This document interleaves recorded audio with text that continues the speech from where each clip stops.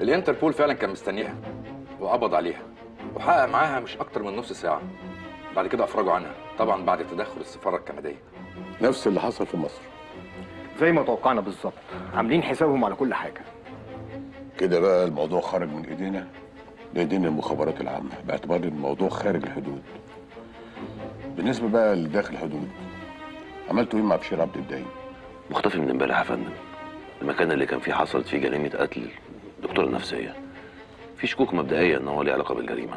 يعني إيه هو اللي قتلها مثلا؟ إحنا لسه بنحقق سيادتك. إحنا متحفظين دلوقتي على الدكتور سعيد الجمال اللي كان بيشيل مستخبي عنده. كل ده ملوش لازمة يا باسل. افرض عن الراجل اللي أنت متحفظ عليه والقضية الجنائية ترجع للمباحث. مش ناقصين حمل تاني فوق كتافنا يعني. يا فندم ما ينفعش. خلاص يا باسل. خلاص. متأسف يا شريف باشا إن أنا جيت لك بدري كده. لا لا بدري ولا حاجة. أنا كده كده بصحى بدري. ما هو ده اللي أنا عرفته بقى من صديقنا المشترك محمد بيه عادل زميلك من أيام شرطة. محمد عادل فين ده؟ ده وحشني جدا. بقى فينه دلوقتي؟ في المطار. أنا كلمته امبارح أول ما عرفت إن أنتوا كنتوا دفعة واحدة. أنتوا كنتوا سابقيني بدفعتين يعني ممكن ما تفتكرنيش.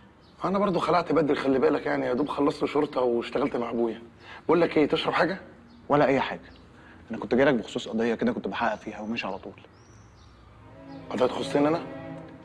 تخص أخت حضرتك مليكة. لا مش فاهم. هو انت ما سمعتش عن الحادثة اللي حصلت امبارح في عند الدكتور سعيد الجمال؟ آه بتاعت الدكتوره اللي وقعت من على السلم.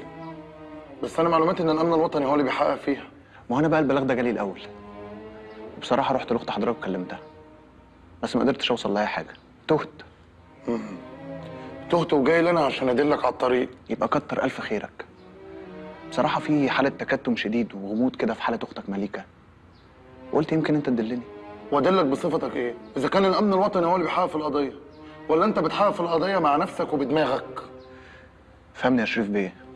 الحكاية ممكن تلبس أختك من ناحيتين. الأولى علاقتها بدكتورة ماجدة. والتانية علاقتها ببشير اللي كانت مخبية عند الدكتور سعيد. مين بيشير ده؟